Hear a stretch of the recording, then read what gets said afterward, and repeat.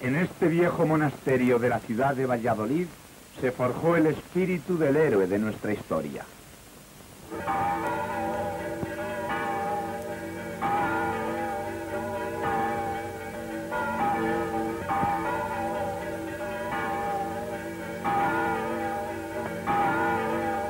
Con diez años de antelación, Fray Anselmo Polanco fue el primero de los mártires que hoy persigue el comunismo.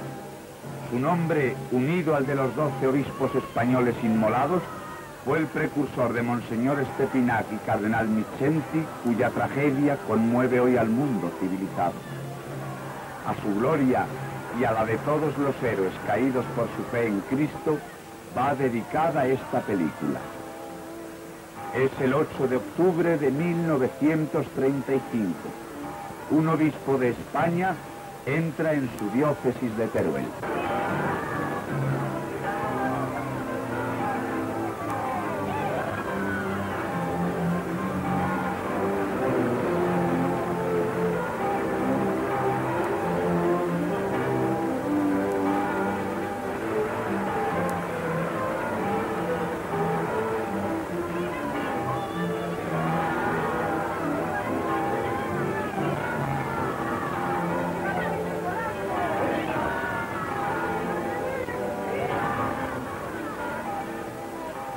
Beatas de Teruel están de enhorabuena. Déjalas que disfruten. Para lo que les queda,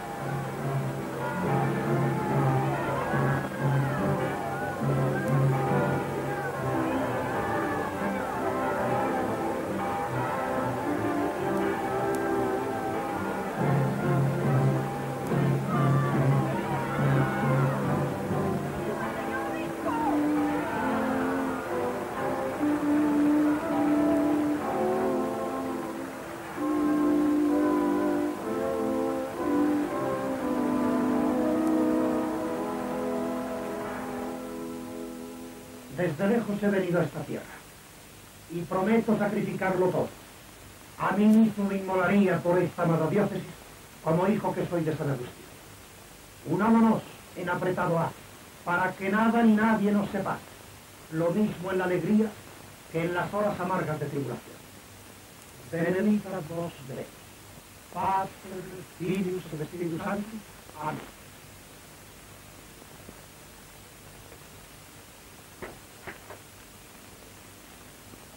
A duras penas podemos alimentarlos.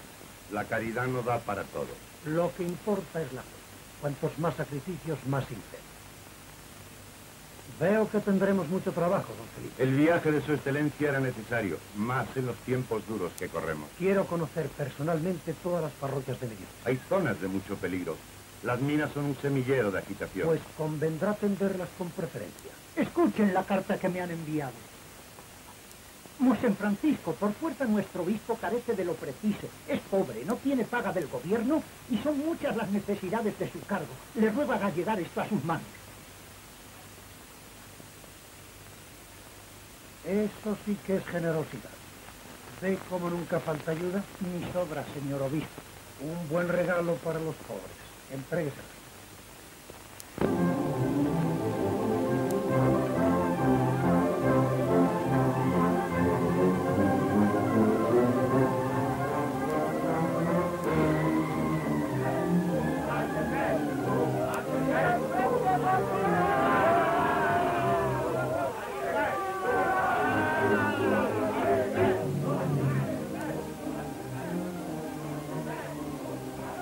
Nuestros enemigos no descansan. Por eso nos creemos en el deber de recordar las normas de conducta de los buenos católicos. Se debate no la forma de un régimen, sino algo más importante.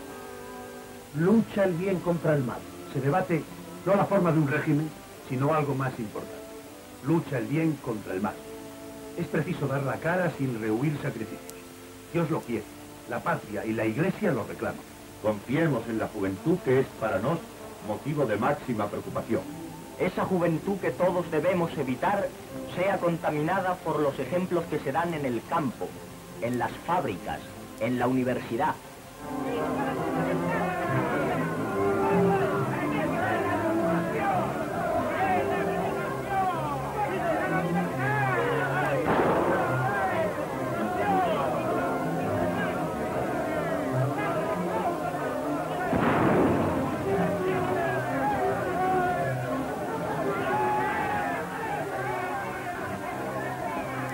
Dispararon de la iglesia. ¡Son los curas! ¡Vamos a ello! ¡Yo lo he visto! ¡Sí, él es el tío! ¡Acaba de correr! ¡Venga,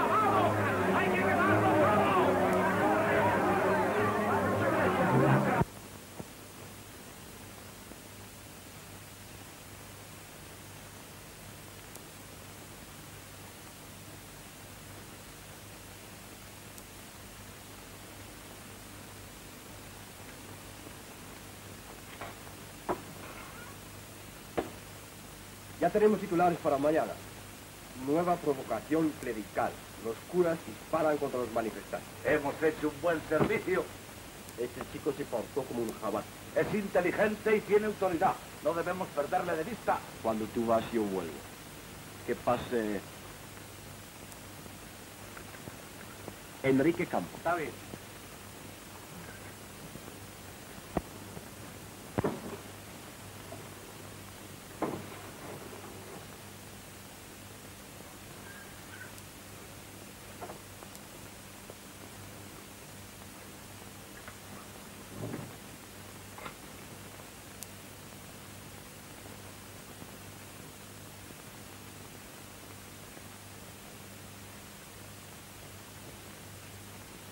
Ignoraba dónde me traía. Acércate.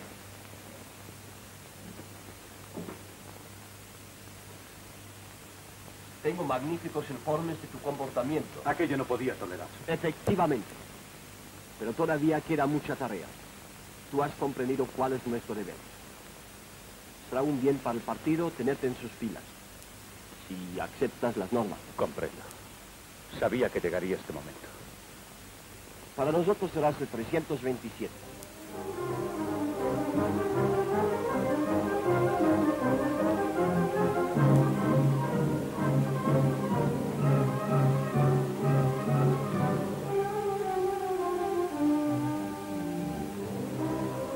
¡Enrique!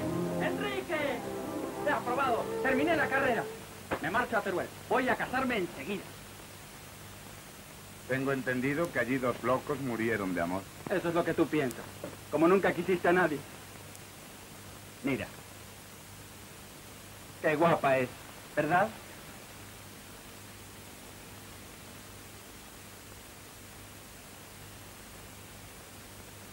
¿Qué es esto?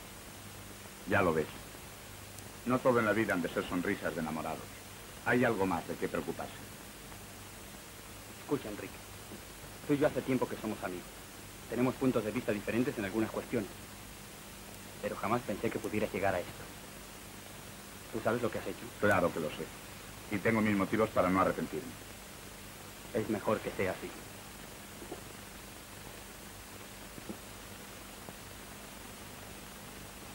De modo que te marchas a Teruel. Sí, mañana mismo. Voy a prepararlo todo.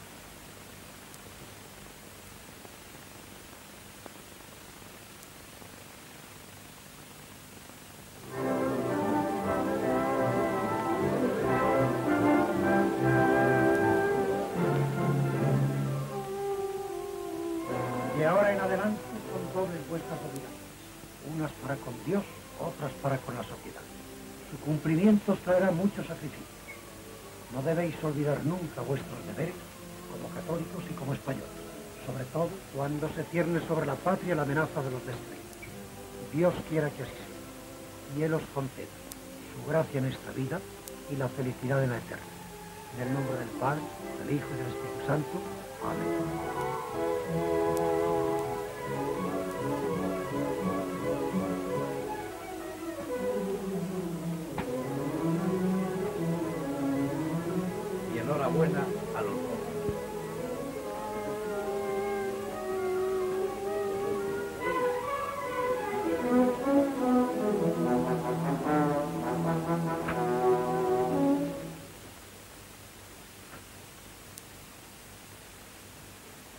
Señor obispo, Comandante Aguado, ¿qué le trae por aquí? algo muy urgente. Tengo noticias de que su excelencia piensa volver a las minas de azul. Ha de suspender el viaje. Si Dios no dispone otra cosa, iré. No debe hacerlo. Un terrorista se ha desplazado desde Barcelona para atentar contra su vida. Usted, como jefe de esta plaza, cumple con su deber avisando. Yo, como obispo, también he de cumplir con el mío. No pasará nada, ya verá. Señor obispo, ¿quiere usted venir a firmar? Con mucho gusto.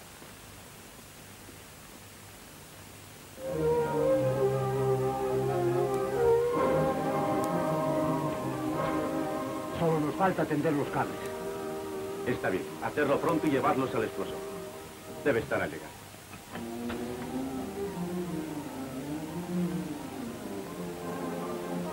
Venga,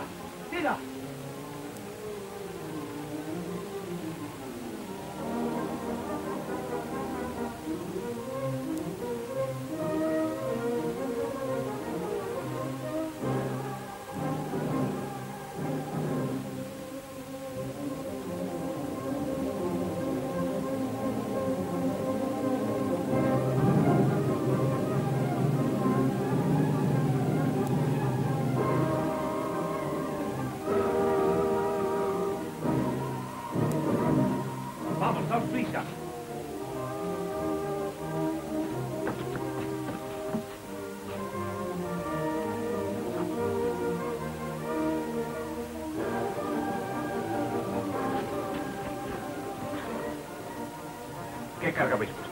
No te preocupes, todo lo requisado en la mina. La suficiente para volar el puente entero. Está bien, podéis largar.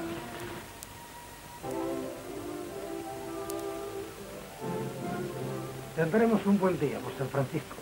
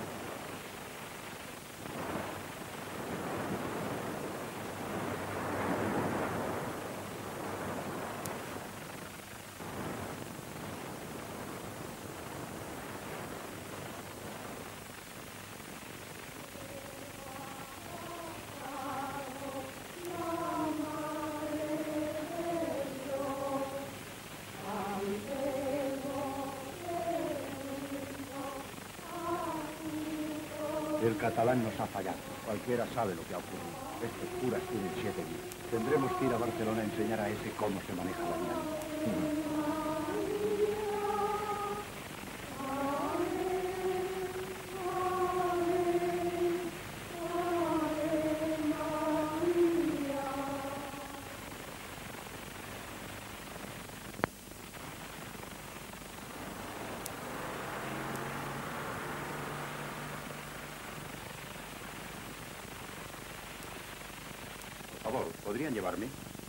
Llegar esta noche a Teruel para tomar el tren.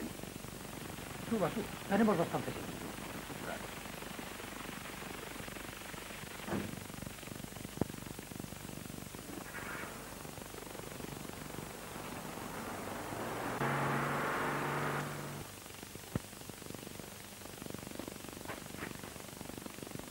Aquí estamos, comandante. Ya de vuelta. Y sin el menor problema. ¿No les ha ocurrido nada? Nada, señor comandante. Yo he tenido un poquillo de miedo. Bueno, mucho miedo. Pero ha sido sin motivo. Me alegro. Se conoce que yo estaba mal informado. Sin duda. ¿Puede? Recogimos toda la carga. Eran 30 cartuchos de dinamita de lo robado en la mina. Suficientes para volar el puente, la carretera y el auto. ¿Cómo? ¿Un atentado? Si el día ha sido muy tranquilo. No es así. ¿Eso caía yo? Con su permiso, mi comandante. Se dio la batida hasta las minas sin encontrar al individuo que, según confirman los detenidos, procedía de Barcelona. ¿Quién era de Barcelona? El agitador que atentó contra su vida. ¿Contra mi vida? Sí.